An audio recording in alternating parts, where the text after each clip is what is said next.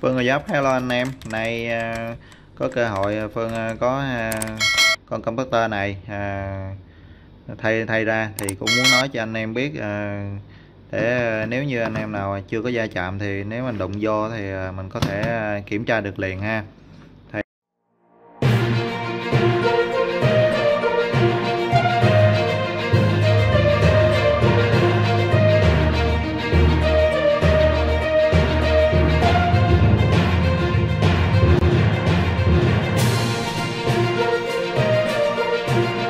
Thì à, con này là con à, ba pha.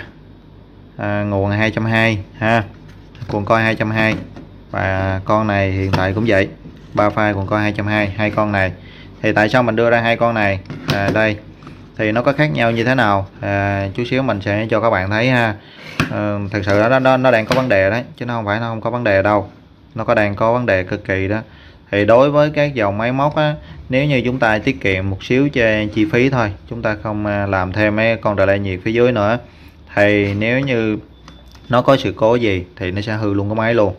Đây nè đối với xài cái này nếu như chúng ta mà không có con rờ nhiệt ha kiểu như mà chúng ta tiết kiệm á không có rờ nhiệt thì nó hậu quả vô cùng và máy móc thì nó hư à, nó thì bản thân nó cũng đã hư rồi và nó kéo theo máy móc hư luôn. Nếu như chúng ta trang bị con rờ nhiệt thì có gì nó nhảy thì nó lại ờ, rất ờ, ok cho thiết bị chúng ta. Đó, ha. Thì đây nè, giờ phương ờ, nói cho các bạn thấy ha đây nè, cái con này, Snyder.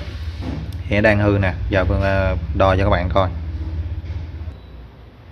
Rồi, thì giờ phương như là phương nói á, phương sẽ đo cho các bạn coi. Thì đây, phương có một cái đồng hồ, hai ba kẹp của Hilki con này à, là dòng 10 ha, ha. thì đây trước tiên à, phương đo cho các bạn coi trước. À, phương đo cũng coi ha. Này có vấn đề gì không ha? Này. Đó phương đo cũng coi. Này phương đo cũng coi bên này.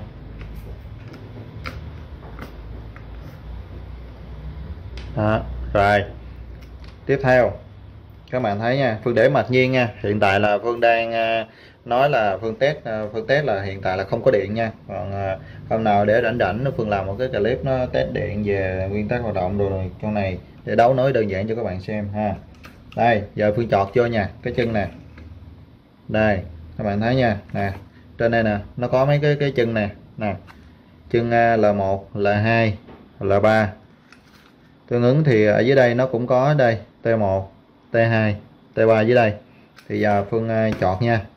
Phương chọn nè, Phương chọn cái ở trên nè, các bạn thấy nè. Cái chân này vô nè.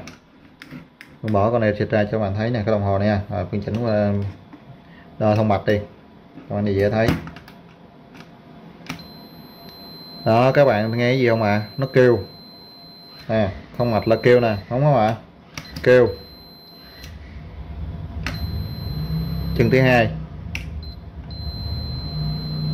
Kêu luôn đúng không ạ? Chân thứ ba. Rồi kêu luôn.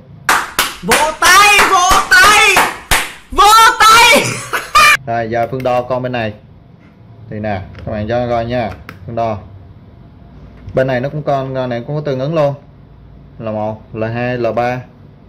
Chân nè t 1 t 2 t 3 đúng không ạ? Đây giờ phương chọn vô nha không kêu. À. Nếu vậy chạm vô kêu. Không kêu này ha. Nè phương ngoáy cái kiểu nha. Đó. Không kêu. Chọt chân thứ hai. Nè phương chọt chân thứ hai nè. Cũng không kêu. Chọt chân thứ ba. Kêu. Cũng không kêu luôn. Rồi, ok. Rồi phán ngay. Phán là con này còn ok. Đúng không ạ? Rồi giờ phương chuyển qua con này phương nói con này nè. Giờ phương lật ra cho các bạn coi các bạn thấy nè. Đó các bạn thấy ờ, cái gì đeo không ạ? À, cái ờ, ở trong này nè. Cái cuộn coi nè nó đã bị dính lại rồi. Ở trong này nè nó bị dính rồi nè nè. Nè ở trong này nè. Các bạn thấy bên này nè các bạn nhìn này cho nó dễ nè. Đó nếu như mà nó nó không có dính công tơ người ta gọi là dính công tơ á. Đó ha nếu như mà nó không có dính á, thì nó trồi như nè. Đây, con dở này cho bạn coi nè. Nè nè, đó. Nếu dính vào mất tiêu vô trong này các bạn khó anh thấy?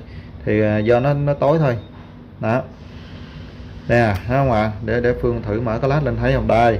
Bạn thấy không ạ? Đây nè, nó dính ở trong này nè. Nó dính trong này rồi nè. Cái này nó nằm ở ngoài nè. Nè, phương đẩy được nè. Đó. Còn cái này là phương đẩy không có được. Phương hoàn toàn đẩy không được ha đó nha các bạn coi này nha. Phương hoàn toàn đẩy không có được. Nó cứ ngắt nè cái này đẩy được nè.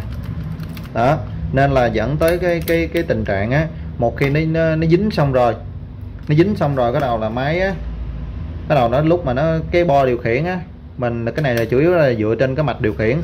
Khi cái bo điều khiển nó đá cái cuộn coi này đó thì nó không có gì hết mà bắt đầu là nó cái cuộn này nè lúc nó nó, nó, nó, nó nhả lên bo điều khiển nó kêu là nó nhả lên nhả cuộn coi lên nè nó không có tiếp ờ, cấp điện nữa. Nhưng mà cái này nè nó vẫn luôn dính. Thì điện lúc đó nó có thì bắt đầu là cái tải của mình này nè. Thì lúc đó nó sẽ hư. Ha các bạn ha.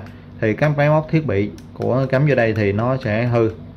Lúc đó nó chạy nó không có đúng nữa và nó hư và cuối cùng là giống như trong mình nè. Hiện tại là nó hư là do có một số điểm là nó hư là do vậy đó. Do không do không có gắn thêm con relay nhiệt dưới này nè khổ là vậy không gắn cuối cùng dẫn đến hư luôn. Cái này trong chỗ mà là đang áp dụng trong cái chỗ máy lạnh các bạn. Cái lốc máy lạnh á cái lốc ba pha đấu vô đây nè. Lốc ba pha đấu vô đây nè. Đó đấu trực tiếp vậy luôn không có không có lại nhiệt gì hết. Đó. Và cuối cùng là, là đã bị thì lâu lâu nó cứ dính vậy nè. Anh em mình đi kiểm tra thì bắt đầu là thấy nè. Anh em mình đi kiểm tra thì đa số á, là phải bắt buộc phải nhìn vô đây. Nhìn như đây nè đó. Mới mới thấy được đó. Rồi thì à, Phương cũng muốn giới thiệu vậy thôi. Cái clip này thì cũng không có gì. Giới thiệu với các bạn về cái công tơ và nó nó bị hư. Như thế nào? Nếu như ai có chưa chưa từng va chạm ha ai chưa từng va chạm thì cũng biết được cái công tơ nó hư là như thế nào. Phương cũng muốn giới thiệu vậy thôi chứ còn một số anh em làm nghề rồi thì uh, bỏ qua clip này cho Phương. Vì này nó không có phải dành cho anh em do có nghề rồi. Nhưng chỉ anh em nào mà à, chưa gia chạm động gia chạm thì thấy là biết được thôi.